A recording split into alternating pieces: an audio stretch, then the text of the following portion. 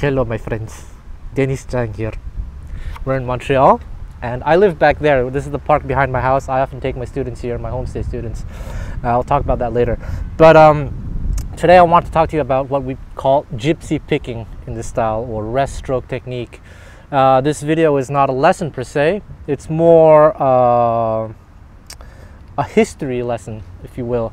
I'll talk to you about how this technique came about, where it comes from, and I think this video would be ideal for those of you who are a little bit on the fence, you know, not sure what it's about or whether you should use this technique if you play this style, what kind of, what if the picks make a difference, what angle should the wrist be, whether you use thumb movement or you touch the body, everything. And this video hopefully will demystify some of the, the myths that exist that people are teaching. And who am I to be making this video? So for those of you who don't know me, my day job is uh, I make memes for a living, and you can probably see a meme right here and here. And uh, I have this side job though. I'm the owner of DC Music School, where I produce videos for artists such as Bireli Lagrene, mm, Rosenberg, Angelo Debarre, Tchavolo Schmitt, pretty much all the big names. I worked directly with them. I got to see their technique. And not only that, I've been involved with this so-called gypsy jazz style for a very, very long time. I'm in close contact with gypsy musicians from all over Europe, so I really got to see how they learn this technique and how they use it. So this will probably cover, cover everything. So this technique is ancient. According to experts, the, this technique uh, comes from certain lute instruments, not the actual lute, but the ancestor of the lute, ancestors of the lute, because they existed in different form, in different forms in different countries. Um, it, some experts say it can be as old as 3,000, like, uh, since 3,000 BC, and um, they traced it to the Middle East and to Asia. And uh, in preparing for this video, I went to the music library. I dug up some books on on ancient lute technique or mandolin technique, and they talked about this. For example, in Japan, you have uh, the shamisen, which is played. You'll probably see a picture here. It's played with this technique as well. A lot of uh, Middle Eastern plectrum-based instruments are played with this technique. And then in classical mandolin, old classical mandolin, not contemporary classical mandolin, they use this technique as well. So it's been around for a couple of uh, centuries, well, not a couple, many, many centuries and a couple of thousand years. So it's pretty funny because nowadays when we talk about guitar technique, everyone is familiar with, with what we call flat picking, where you rest the, the hand against the bridge here, flat picking. And the funny thing about this technique is that it started roughly around the 1930s, so it's not even 100 years old.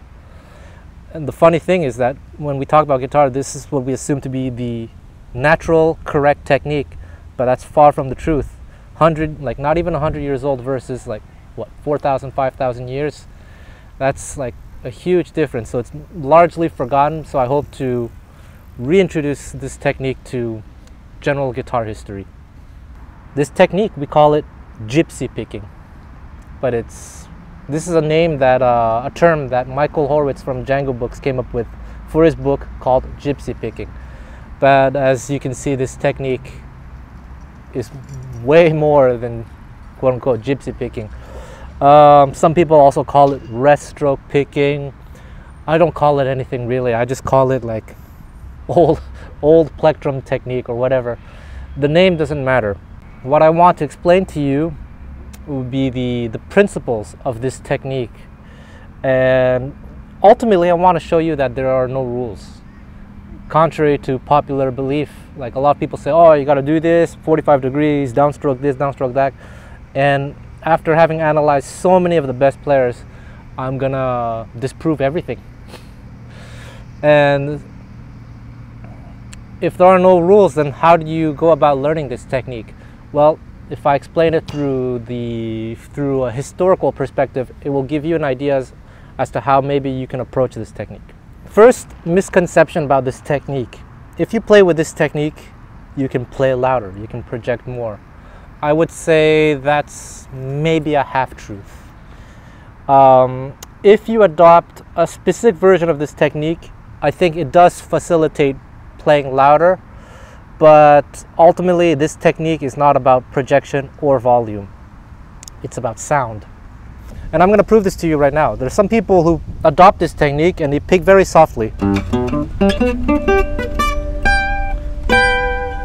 And there's some who uh, flat pick and they pick very loudly.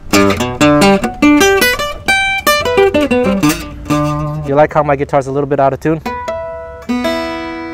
You see? And, um, and I've seen everything in between.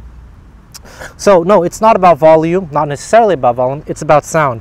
When you adopt this technique, you allow the body to resonate. And let me see if you can hear like.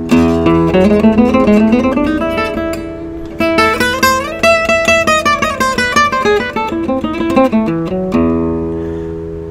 don't remember what I played, but if I flat pick this same thing.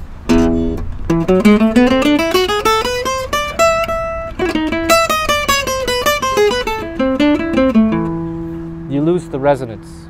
I don't know if you can, if the microphone picks that up. And first of all, you notice that when I flat pick, as, soon as I strike the open string, I, have no choice. I kind of have to muffle it, so it cancels out all the reverb. But let's, if I just take this, and I flat pick, I don't know if you guys hear that, you're missing that reverb.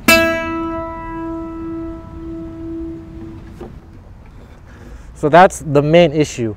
It's all about tone. And uh, classical guitar players, violinists, cellists, all these uh, acoustic instruments take advantage of the resonance of their instrument to get this round tone, if you will.